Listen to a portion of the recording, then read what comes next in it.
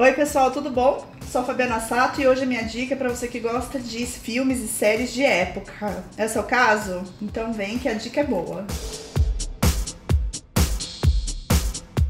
Estreou agora em novembro no Netflix uma série chamada Alias Grace, em português vulgo Grace, acho que dá pra procurar pelos dois, que é uma adaptação de um romance escrito pela Margaret Atwood.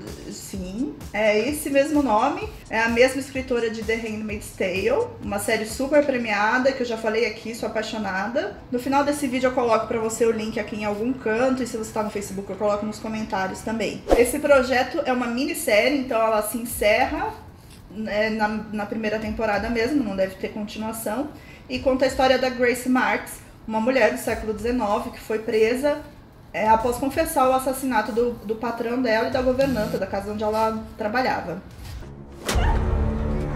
There has been a crime, people want a guilty person. Rightly or wrongly does not matter.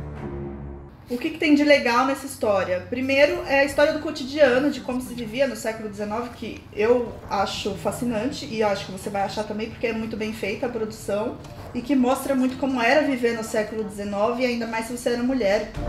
Always a mistress ordering me a bite. I'd like you to scrub this floor. You stupid whore. Strange to reflect that of all the people living in that house, I was the only one of them left alive in six months' time.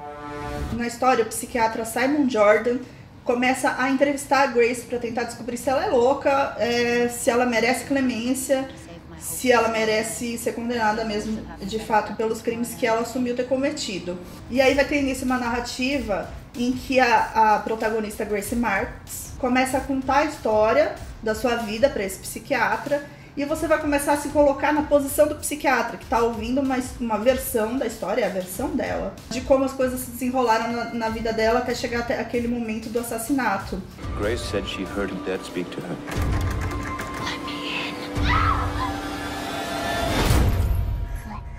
me in. Só que assim, a, a atriz, a personagem, é tudo muito sedutor. Você vai se pegar falando, ai, mas ela é tão fofa, mas ela é tão meiga, como que ela pode ter cometido esse crime? Ela não merece ir pra forca por causa disso. E você, você vai fazendo o papel do psiquiatra até o final, você não sabe o quanto dali é verdade ou mentira. How can I be a murderer? Na vida real, a Grace é, teve a clemência do júri, que ficou meio que seduzido ali pela figura dela, mas o comparsa dela foi executado. Enfim, é uma produção super bem feita para você assistir bem devagarinho e curtindo a narrativa dela. Eu acho que vocês vão se deliciar. Quero saber o que vocês estão assistindo de filmes e séries de época. Deixem aí nos comentários para mim de dicas.